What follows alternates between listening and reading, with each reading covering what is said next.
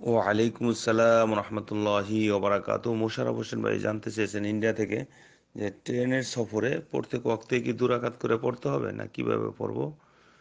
জানাবেন, আলহামদুলিল্লাহ ওসলাত আসসালাম আল্লাহ রসুলিল্লাম আবাদ জি, সম্মানিত মোশারফ হোসেন ভাই, ট্রেনের সফর নয়, বাসের সফর নয়, জাহাজের সফর নয়, বিমানের সফর নয়, বা অন্যান্য গাড়ি ঘোড়ার যে অথবা হাঁটার যে কোনো সফরে সফরের নামাজের নিয়ম হলো আপনার যখন আপনি সফরের দূর, দূরবর্তী কোনো সফরের জন্য বাহির হবেন, তখন সেখানে কসর করবেন, ফিরে আসার আগ পর্যন্ত।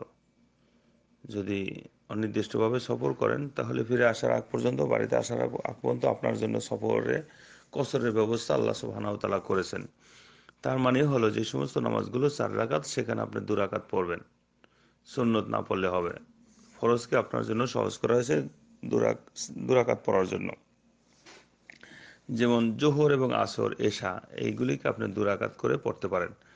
আর এশার সময় বেতরে পড়ে নেবেন এবং ফজরের নামাজ দুরাকাত, সুন্নত দুরাকাত ফরজ রিদ ঠিক থাকবে। কারণ সুন্নত আল্লাহ রসুল ফজরের সুন্নতগুলো মুকিম অবস্থায়, অর্থাৎ বাড়িতে অবস্থান করা অবস্থায় সারেন নাই সফর অবস্থায় সারেন নাই। এমনিভাবে এশার নামাজের পরে যে বেতের নামাজ, এই বেতের নামাজও পড়ে নেবেন। আর বাকি নামাজগুলো কসর করতে হবে, মাগরীব তিন রাখাত তিন রাখাত দিয়ে থাকতে হবে। এই নামাজগুলো আপনাকে এইভাবে করা হয়েছে। তবে আপনি একটা জিনিস সহজভাবে পালন করতে পারেন ট্রেনের সফরে বা অন্যান্য সফরে আপনার সহজতার জন্য।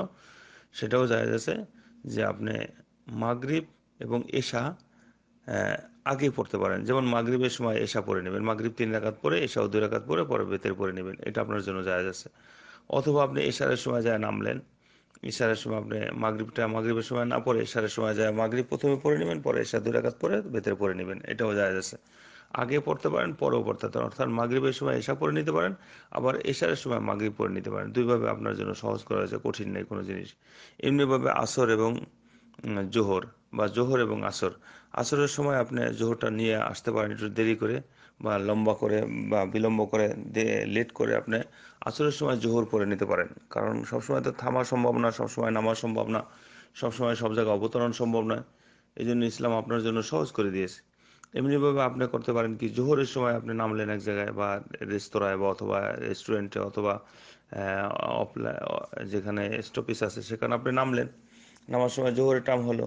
জোহরের সময় আপনি দুরাকাত জোহর পরে নিলেন, তারপরে আসরটাও দুরাকাত পরে নিলেন। কারণ জানা যাচ্ছে না আবার কোথায় স্টপিস করবে বা সেখানে যে আমি আসর পড়তে পারব কিনা এইভাবে আপনি পড়তে পারেন। এটাকে বলা হয় জমা তাকদিম ও তাখির। এভাবে আপনাকে পড়ার জন্য ওলামা ইকরাম বলেছেন। এভাবে আমরা প্রমাণ পাই হাদিস দ্বারা। তো আপনি এইভাবে পড়ে নেন, আপনার জন্য সহজ হবে। আল্লাহর কাছে দোয়া করি আল্লাহ আপনাকে সুন্দরভাবে আমল করার তৌফিক দান করুন।